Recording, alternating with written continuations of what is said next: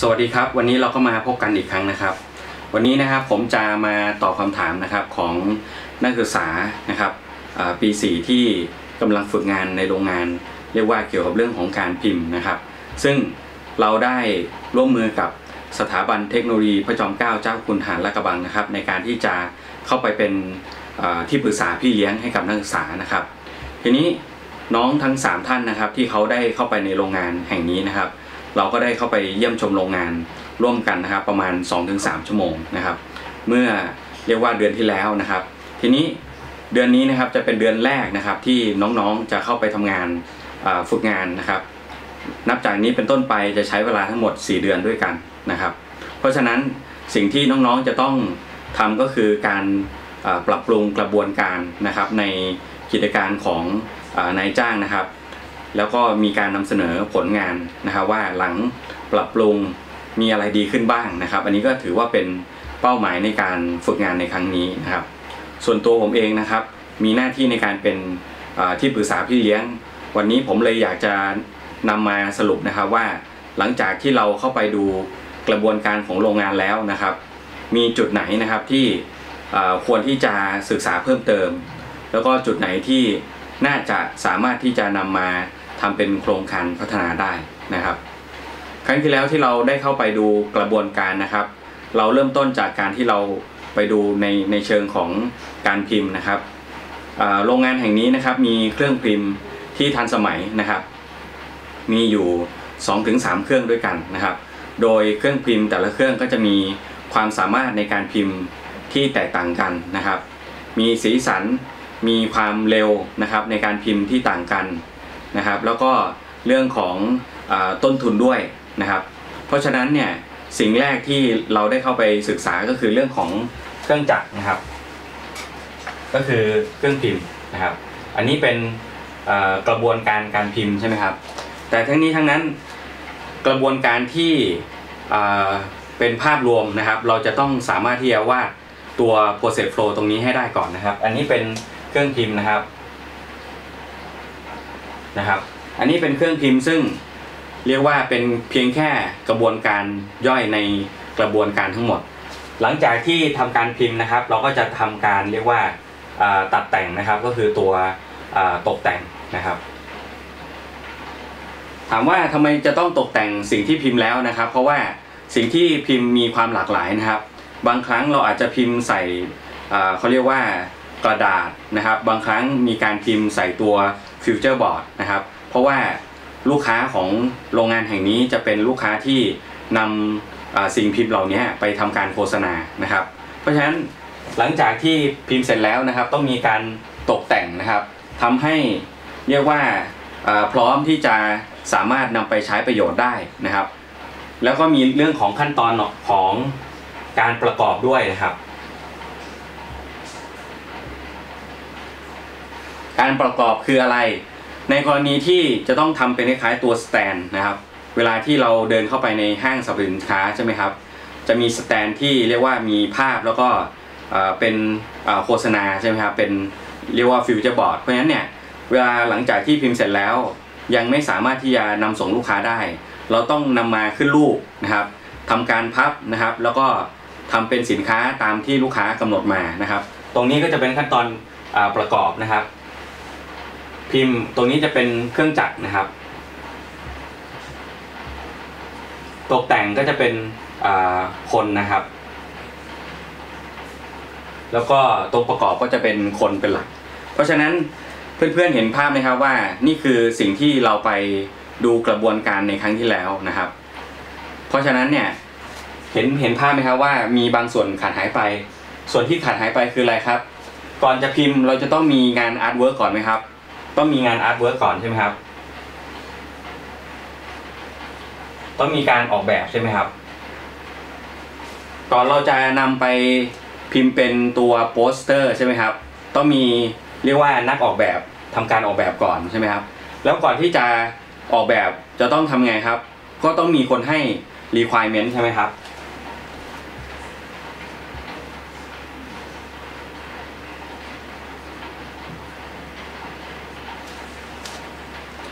จากตรงนี้นะครับจากกระบวนการตรงนี้ เราน่าจะได้เรื่องของภาพรวมของกระบวนการทั้งหมดของโรงงานแห่งนี้แล้วก็คือ เริ่มต้นจากลูกค้านะครับ มีการให้ requirement แบบที่ต้องการนะครับจำนวนที่ต้องการวันเวลาในการส่งมอบใช่ไหมครับ หลังจากนั้นถึงเริ่มทำการออกแบบตัว artwork ใช่ไหมครับอ่าทำการตรวจสอบใช่ไหมครับออกแบบเสร็จแล้วมีการตรวจสอบสีสันใช่ไหมครับ ย้อนกลับไปที่กระบวนการ ก่อนหน้าก็คือไปเทียบกับ requirement นะครับว่าได้หรือไม่ใช่ไหมครับ หลังจากที่ requirement นะครับกับสิ่งที่ออกแบบเรียกว่าสอดคล้องกันใช่ไหมครับ ก็ถึงจะสามารถที่จะนำมาพิมพ์ใช่ไหมครับ เพราะฉะนั้นขั้นตอนตรงนี้นะครับก็จะมีการเรียกว่าทวนสอบซึ่งกันและกันนะครับ คนออกแบบก็จะทำการทวนสอบไปกับคนที่ให้ requirement ถึงจะนำมาทำการพิมพ์ได้ใช่ไหมครับ แต่ว่า ก่อนที่เราจะพิมพ์จำนวนมากๆใช่ไหมครับ สิ่งที่เกิดขึ้นคือ เราจะต้องมีการเทสพิมพ์นะครับ เทสจำนวนน้อยๆ เพื่อตรวจสอบสีสันใช่ไหมครับ เพราะฉะนั้นตรงนี้นะครับก็ไม่สามารถที่จะเริ่มแมสได้ เพราะฉะนั้นเนี่ยพอพิมพ์แล้วก็จะต้องมีไพลอตนะครับ อ่า ตรงนี้จะเป็นไพลอตเพื่อทำการตรวจสอบนะครับว่าสีสันนะครับที่ดีไซน์ในรูปแบบอิเล็กทรอนิกส์กับหลังจากพิมพ์เสร็จแล้ว โทนสีเนี่ยมันมันมันตรงกันหรือไม่นะครับ ตรวจสอบโดยใครตรวจสอบโดยนักออกแบบนะครับ จะต้องประสานงานกับ เรียกว่าคนที่เป็นลูกค้าอีกครั้งหนึ่งนะครับ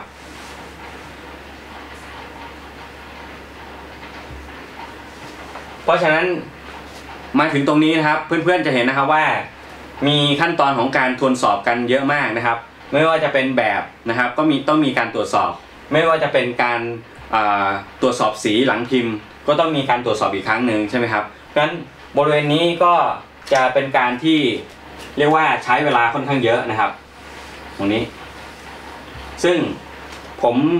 อยากให้น้องๆนักศึกษานะครับที่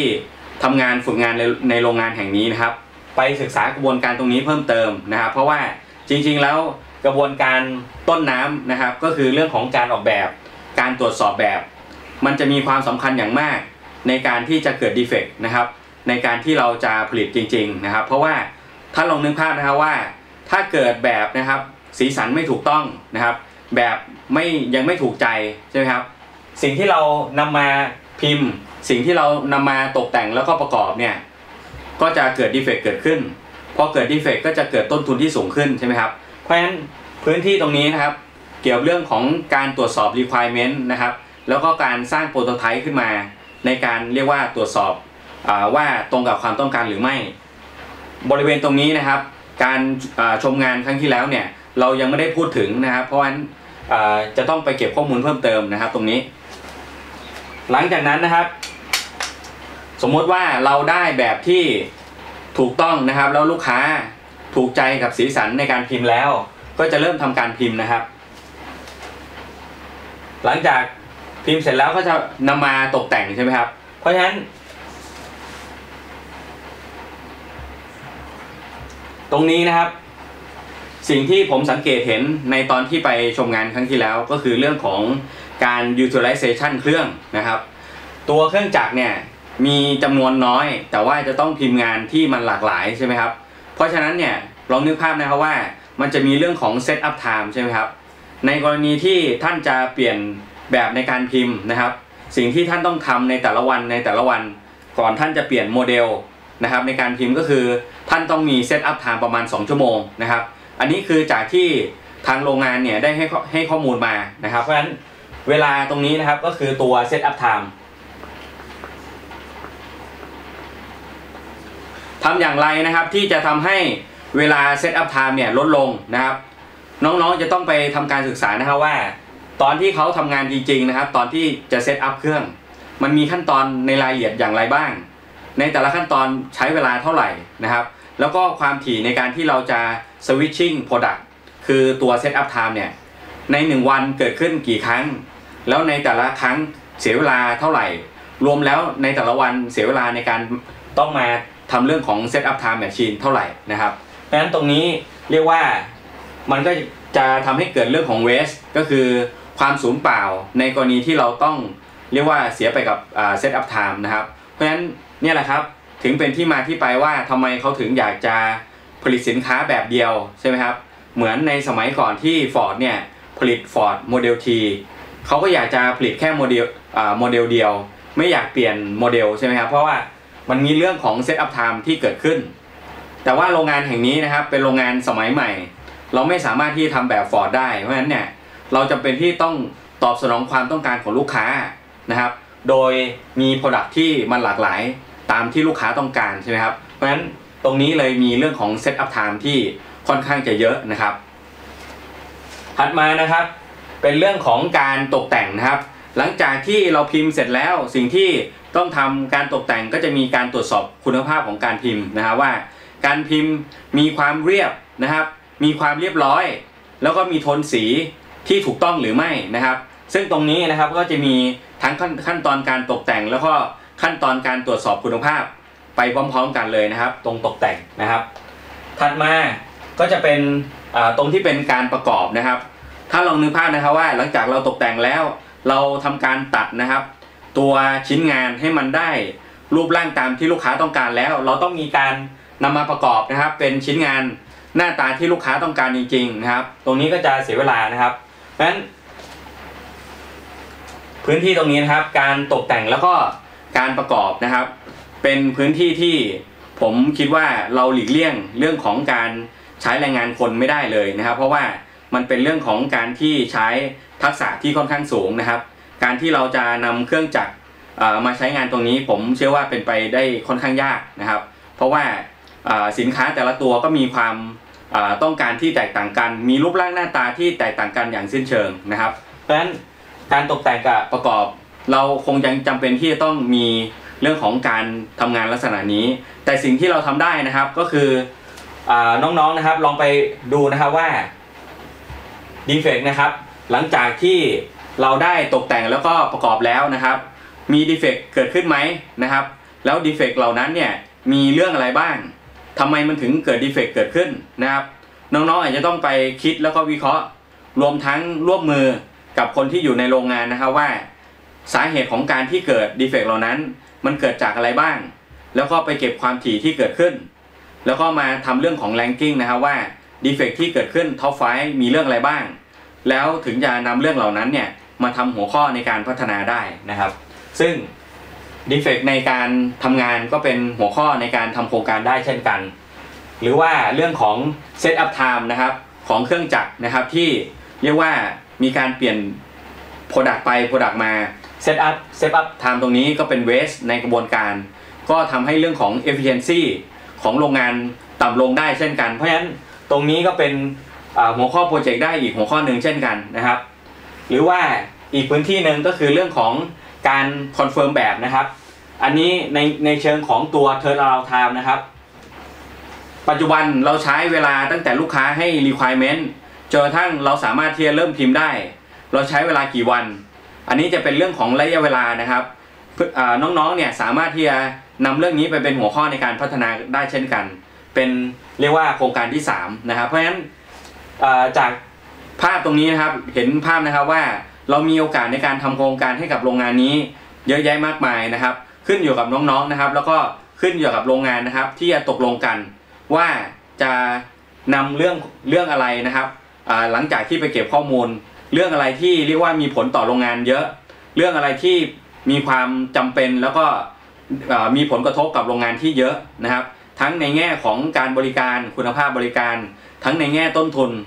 นะครับ แล้วก็ทั้งในแง่ของความพึงพอใจของลูกค้าด้วยนะครับ เพราะฉะนั้นตรงนี้นะครับถึงอยากจะฝากน้องๆนะครับที่ผมได้ส่งตัว template นะครับในการที่จะเริ่มโครงการไปนะครับ มีทั้งหมดอ่า10ขั้นตอนด้วยกัน น้องๆสัปดาห์นี้นะครับ น้องๆต้องเริ่มทำตัว process flow นะครับว่าตัว process flow ของโรงงานในรายละเอียด ในแต่ละขั้นตอน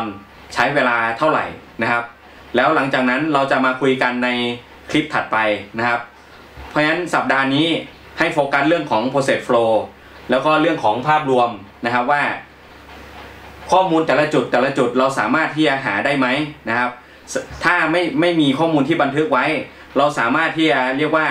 tracking โดยใช้เช็คชีตได้ไหม อันนี้คือในกรณีที่โรงงานเขาไม่มีการบันทึกไว้ในระบบคอมพิวเตอร์นะครับ เราก็อาจจะจำเป็นในการที่จะสุ่ม